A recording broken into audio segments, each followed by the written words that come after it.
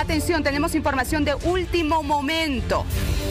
Esta persona que estrelló una patrulla policial luego de robársela, este hombre que está viendo en pantallas, apareció Víctor Hugo. Y está asumiendo la responsabilidad con mucho valor, hay que destacarlo, pues eh, un error lo comete cualquiera y reconocerlo es mucho más duro. Amigo, lo vas a hacer de manera voluntaria. Sí, eh, he reflexionado todo ese momento, todo ese tiempo y presentarme para que no haya involucrados inocentes en este caso y asumir todas las culpas. ¿Tú tienes algo que decirle a la gente, a la población que ha visto lo que ha ocurrido con este vehículo policial?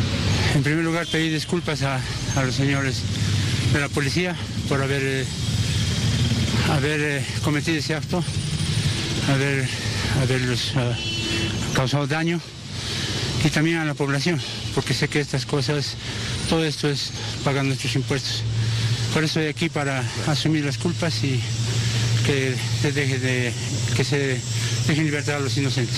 ¿Puedes relatar un poco lo que pasó esa noche? ¿Por qué lo hizo? Por favor, no concretamente. Tengo una, una idea clara. Solamente fue un momento de ira y estaba con, con copas encima, así que no, no, no, no recuerdo qué es lo que pasó. Solamente vi en las noticias todo lo que había pasado y decidí asumirlo. ¿no? ¿Qué pasó minutos antes de que lleguen las autoridades? No, no tengo ahorita, estoy tan ofuscado que no, no sé cómo podría colaborar con eso. ¿Has podido responderte a ti mismo? ¿Por qué lo has hecho? No. No, no he podido responder, he estado ¿Tienes intentando. algo más que decir? Eso es todo, muchas gracias. ¿Te acompañamos? Bien, vamos a hacerlo. Nos vamos a sumar a lo que es plataforma de la FELCC. Ojo que la policía lo Acá estaba buscando, pero él decidió presentarse Exacto. de forma voluntaria y está ingresando en este momento a la Fuerza Especial de Lucha contra el Crimen y Bolivisión está en este preciso momento reflejándole lo que está sucediendo. Hemos conversado con él, se arrepiente de lo que hizo, no sabe por qué actuó así, dice él. En este momento se está presentando, mire usted, está subiendo, subió las gradas y se está presentando de forma voluntaria. Escuchemos un poco. Vengo a presentarme como autor confeso del, del eh, destrozo de la patrulla. Ah, ustedes. Ya. Pasa por favor este lado, ¿no? Perfecto. eh, ya él Ustedes ha tomado contacto con el personal policial que está acá. Lo están llevando al área de información. Ingresado. Hasta ahí es donde nosotros podemos llegar. Y bueno, eh, el uniformado policial está empezando a dar el parte correspondiente a quienes son los encargados de plataforma en la FELCC. Seguramente le van a pedir la documentación. Vemos bastante movimiento que se está dando acá. Algunos cuadernillos ya que se han tomado, como también algunas llamadas que están empezando a darse luego de esta situación que estamos reflejando en directo para toda la población. Hay que resaltarlo, esta persona ha decidido tomar eh, y eh, tomar contacto de manera voluntaria. Y lo ha querido hacer con nosotros de manera exclusiva, por el seguimiento que se le ha dado y también para aclarar y dar su versión.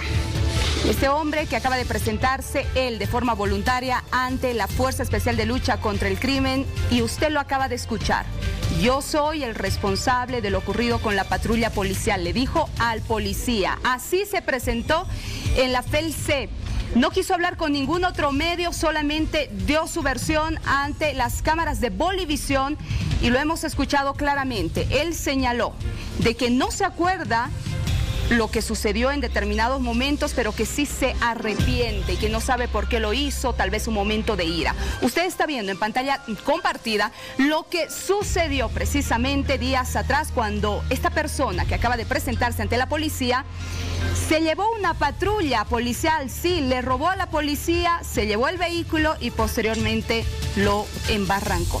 Mire usted, los efectivos del orden ya se, se han puesto incluso a conversar con él y hemos podido observar cómo él de forma voluntaria ha llegado un poco nervioso, sí lo hemos notado, pero decidió hacerlo. La policía lo estaba buscando ya desde hace algunos días, tratando de identificar a la persona que eh, robó esta patrulla y que le causó estos graves daños. Miren, los efectivos policiales en este momento seguramente van a tomar su declaración, pero reiteramos, acaba de presentarse de forma voluntaria, se entregó a la policía el hombre que se robó una patrulla policial policial que estaba, que se encontraba en estado de ebriedad y que posteriormente eh, la embarrancó.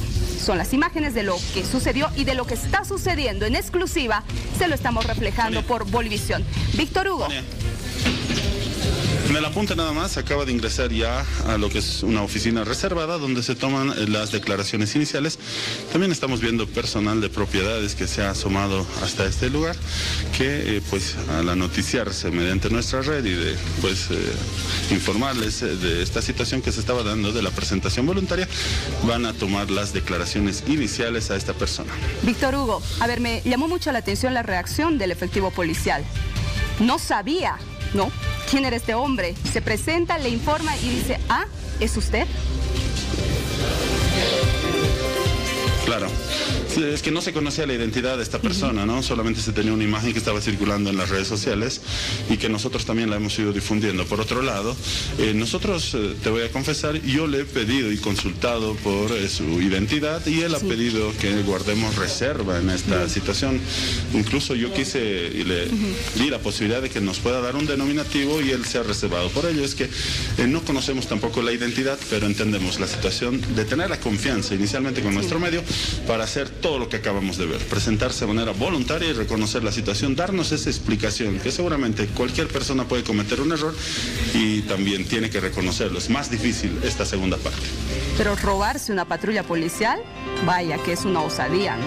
Robarle a la propia policía y mire cómo quedó el vehículo.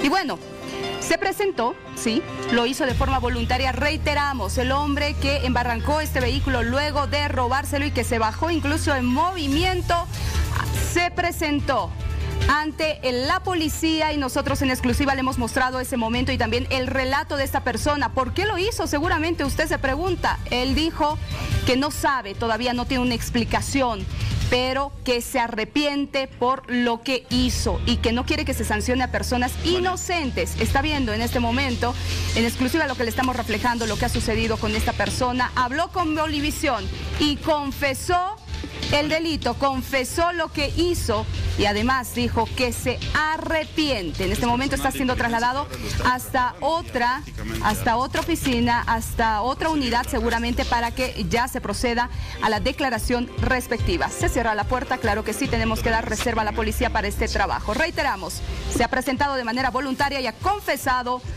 su delito.